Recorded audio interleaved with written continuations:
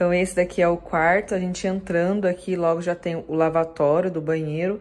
Embaixo tem o frigobar. Ele vem vazio, então você pode comprar as coisas no mercado e colocar. É, os quartos são super limpinhos, eles limpam todos os dias. Desculpa pela virada aí. Aqui tem o banheiro. O banheiro é pequeno, mas tá ótimo. E logo em seguida, então, tem ali uma mesinha, se quiser trabalhar, televisão, a cama, eu gostei bastante, é uma cama grande, espaçosa. E ali tem o guarda-roupa é, ele é aberto e temos essa vista aqui, que pegamos sexto andar, né? Aí dá pra ver, olha que céu lindo, gente. Dá pra ver bem a cidade daqui. E é legal essa localização do hotel, porque ali embaixo, aqui, ó, é um, um, shopping, então tem tudo perto, dentro do shopping tem de tudo ali, então ficou bem bacana essa localidade aqui do hotel.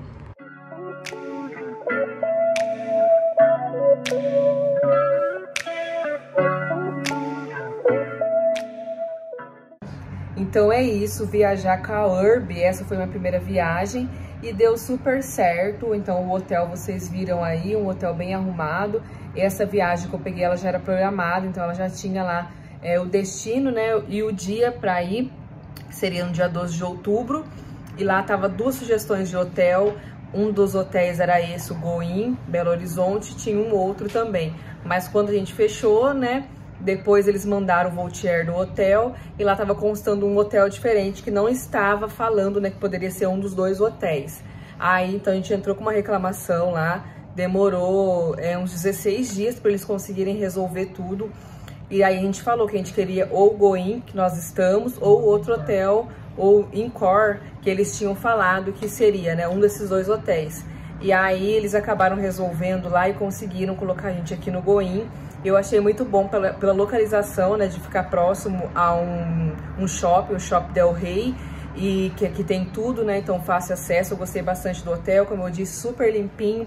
É, deu tudo certo na parte do voo também, tá? O avião não atrasou. É, eu vi que tem pessoas que foi pela URB, chega lá, é, não, não consta o nome no voo e tal. O nosso deu tudo certinho, tá? A gente entrou, o horário foi tudo certo, o dia, tudo certinho mesmo. Então não tivemos problemas nenhum com isso.